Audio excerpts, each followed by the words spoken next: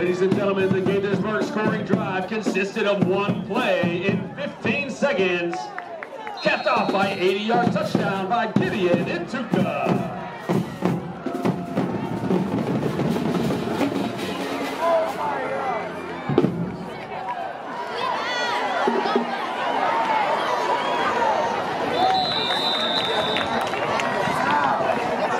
There was a penalty following the touchdown, so the kickoff emanated from the Gaithersburg 25-yard line, returned by Wootton, number three, Chase Williams, out to the Patriots 45-yard line, where Wootton will take over first and 10.